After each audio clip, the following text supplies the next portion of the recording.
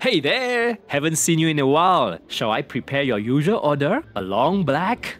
Yes, please. How's business lately? Not too good. The rising cost of coffee beans is eating into my profits. Ah, the rising costs are indeed affecting everyone. While we often hear about the CPI or Consumer Price Index, have you heard about the PPI or the Producer Price Index? The PPI measures price changes from a business's perspective, which can be more relevant to you. PPI? How is that different from CPI? Well, while CPI tracks consumer prices, the PPI measures the price changes for goods and services experienced by local producers and service providers. The PPIs compiled by the Singapore Department of Statistics include the Domestic Supply Price Index, Singapore Manufactured Products Price Index, and International Trade Price Indices for commodities, as well as the Services Producer Price Indices by specific services industries. They are compiled monthly or quarterly from surveys of local businesses.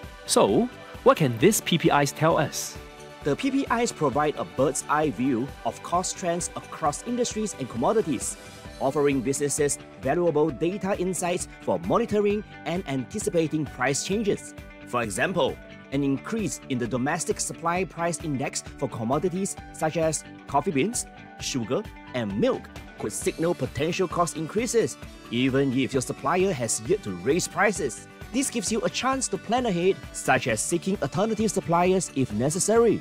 The use of PPI extends beyond buyers. From commodity suppliers, the PPI changes of these commodities can serve as a reference to help them set competitive prices.